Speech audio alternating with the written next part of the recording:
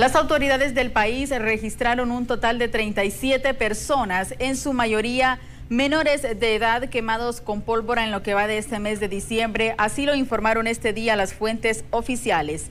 Al menos una veintena de los casos se registraron desde la víspera de la Navidad en el país centroamericano, con lo que se elevó a 37 los lesionados durante este mes, según un informe de las autoridades sanitarias del país.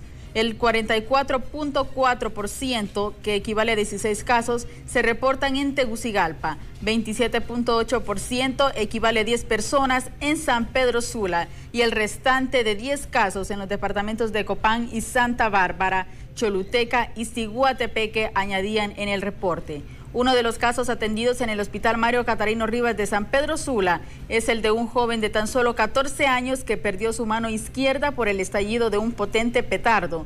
Dijo este miércoles a los periodistas la portavoz del nosocomio, Julia Sánchez.